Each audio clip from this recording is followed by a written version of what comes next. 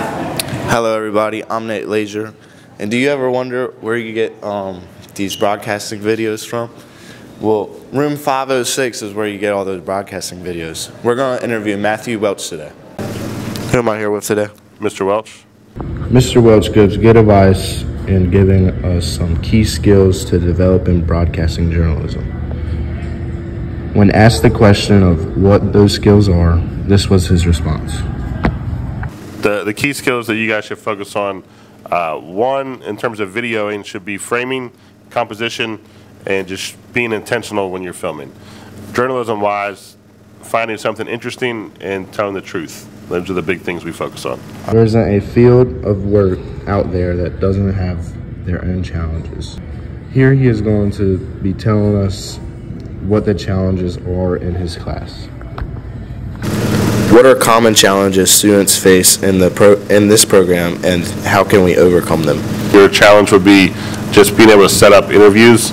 Um, teacher schedules are hard to follow sometimes, especially early in the year when you don't want students falling behind and skipping class or being out of class, things like that. Teachers look at it different ways. To be able to overcome that is just kind of staying resilient, having the, the work of the other teachers around us, but that's probably the biggest thing. Welch finally ends off by giving us some resources on how we can learn more and do things related to broadcasting.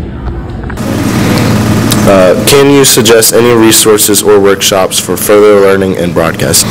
Yeah, there are plenty of free online things in um, on YouTube if you go and, and check those out. Otherwise, any college usually offers uh, media conferences or media camps, so look into Shepherd. I'm not sure if they have or not, but um, WVU always offers one every summer, so there's there's always resources that you guys can can check out. Thank you. You're welcome. This class, students were making a newsworthy story. We are making a newsworthy video. own man and his destruction of the city.